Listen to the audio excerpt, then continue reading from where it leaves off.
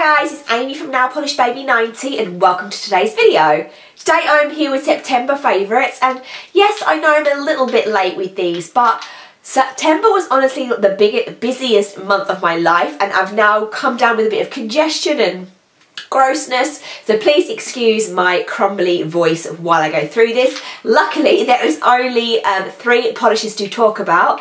This is not saying that I didn't wear polish in September, I definitely did. It was a much better month than what we saw in August but I didn't um, wear a lot of individual polishes. I wore a lot, I did a lot of swatching for collections because I've got myself a bit behind on collection reviewing.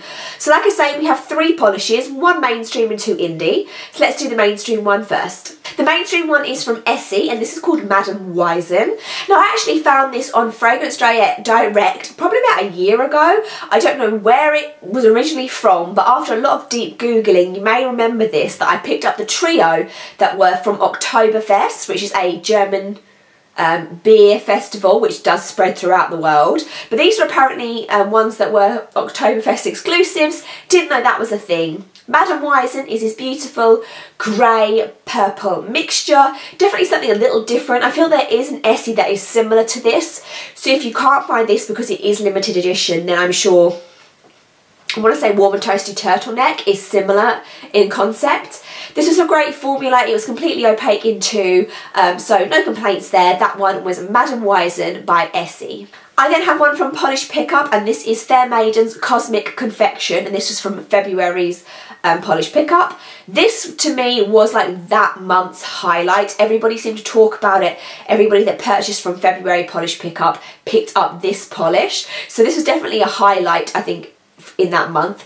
It's a beautiful turquoise with so much glitter and there's a little bit of shimmer in there and it just glows off the nail. What I love about Polish Pickup is they always have like a pictorial reference to what they're trying to show and the, the picture that I remember they put up with this was just this beautiful, like I say, teal, a little bit of a purpley shimmer and there's a ton of other things going on.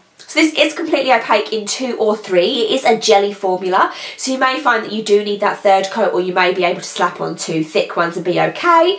Not sure how you're going to be able to get this anymore because like I say it was polish pickup um, but that was Cosmic Confection by Fair Maiden. And the last polish for the empty is going to be Petrificus Totalus and this is by Glam Polish and this came out in their second wave of Harry Potter magical spells. So they did the original collection that I did do a full review for and then they came back with an additional five polishes and this is one of the additional five. So it is a very, very, very glittery polish and it's then got mainly the silver and a silver hollow it's got kind of like an orangey flash to it which is just picking up on camera there. It is apparent on the nail so you are getting definitely what's on the nail in the on the bottle on the nail. Um, I just wasn't overwhelmed by it. It was it was nice, it was fine, it was pretty, just not one of my favourites from Glam Polish or my favourites from that uh, Magical Spells collection. And I'll be saving this up because obviously we will be doing another Harry Potter video at some point. Um, if you haven't seen any of my other Harry Potter videos, there is a playlist on my channel, so definitely check that out if you're a Harry Potter um, lover. So that was two coats of Petrificus Totalus by Glam Polish. I have one empty this month and this is the Naked Manicure by Zoya Glossy Seal. This is their quick dry top coat. I've used maybe three bottles of this in the past. It's a really great formula, super shiny, dries really fast. The only complaint would be that I wish it was a wider brush.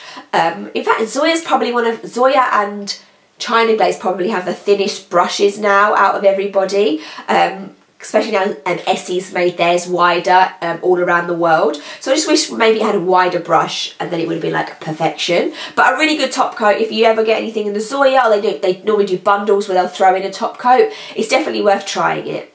So that was September favourites. Like I say, a little bit longer than last month, but not overwhelming. I'm hoping that um, October's favourites will be a really, really big because I've been wearing a lot of polish up until I broke not a huge break, but I did have a break earlier this week, so I'm hoping still to keep the momentum up and keep swatching. So I hope you've had a great September and it wasn't as busy and chaotic as mine. Give me a thumbs up, subscribe, and I will see you soon. Bye.